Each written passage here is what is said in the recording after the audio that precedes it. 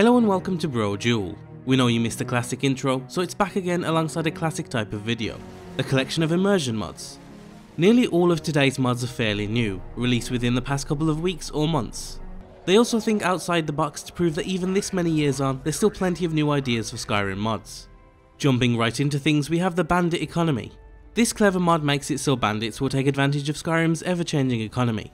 When you sell an item to a merchant, there's a chance it'll eventually make its way into the hands of a bandit.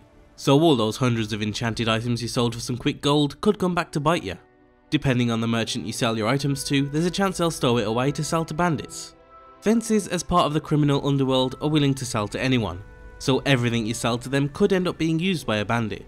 The mod even breaks it down to individual merchants. So the more noble in Solitude is much less likely to do business with bandits than say Belethor, who'd sell his own sister if he had one. What's great is that the equipment the bandits use will be the actual equipment you sell.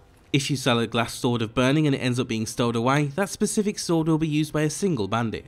So the quality and quantity of the items you sell will have an impact. Sell 17 enchanted rings to a fence and those exact 17 rings will eventually find their way onto bandit fingers. Of course this also means that if you kill those bandits and loot them, you'll get your stuff back, which you can then sell all over again. As the mod page puts it, it's like a recycling system only bloodier. Also, maybe you should go revisit the merchant you sold it to, and show them just how much you appreciate them selling your powerful equipment to your enemies.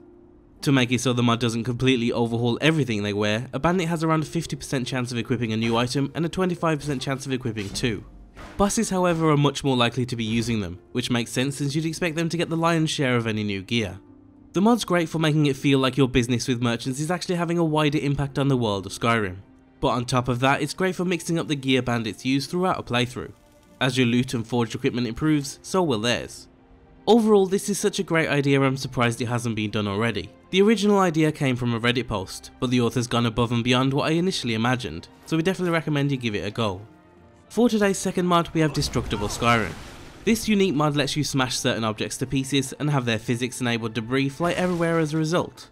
Bring out your inner link and smash barrels to get the loot inside, or instead go around smashing all of the chairs, tables and bookshelves that you want, in your never ending rampage of destruction around Skyrim. The mod works surprisingly well, taking advantage of the base game's destruction system without using any scripts. As the famous saying goes, it just works. Simply hitting the right object will smash it, although shouting will also do the trick. As you can imagine, the NPCs around Skyrim won't be too happy if you go around smashing all their furniture, so if you try smashing up an inn or a shop, you can expect the guards to be called. The mod's definitely a lot of fun, but it doesn't come without its issues. It's not fully compatible alongside mods that overhaul the object meshes, and sometimes objects break when you run into them a bit too hard, which I guess still makes sense since you're fully armoured up, but it's not the most practical thing in game. We're not entirely sure if it has a place in a full playthrough, but we thought it was an interesting proof of concept nonetheless. Maybe the idea of smashing containers and even chests in this way could be an interesting alternative to lockpicks, but we'll have to wait and see. Next up is another creative mod by the name of Daedric Voices. They say the wielders of Daedric artifacts can have their mind corrupted over time. Daedric Voices makes it so whenever you're using an artifact, you hear the voice of its Daedric prince. When you perform certain actions while using an artifact, there's a chance the prince will call out to you, commenting on what you just did, or giving words of encouragement. This typically happens when you draw or sheath your weapon, or when you kill an enemy. So as you slay your enemies and absorb their souls with the Mace of Molag Bal, he'll send out his words of praise. Now ain't this a surprise? Pledge your soul to me.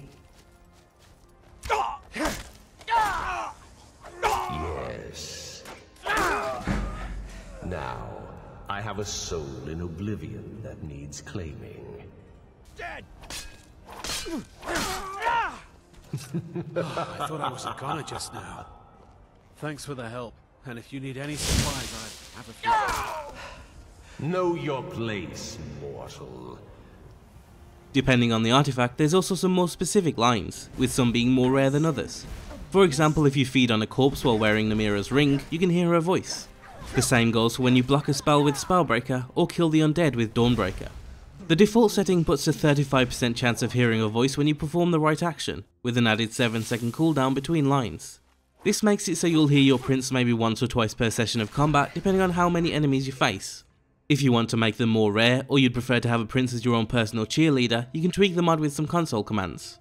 If you're ready to be manipulated by a Daedric prince, you can find a link down below.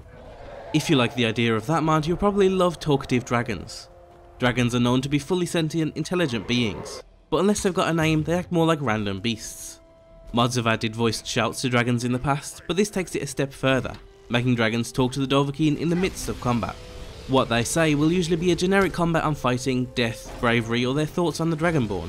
There's plenty of unique lines, and just like the Daedric Voices mod, it does a good job in adjusting the rate of talking so it won't become too repetitive. I do not fear you, Dovahkiin.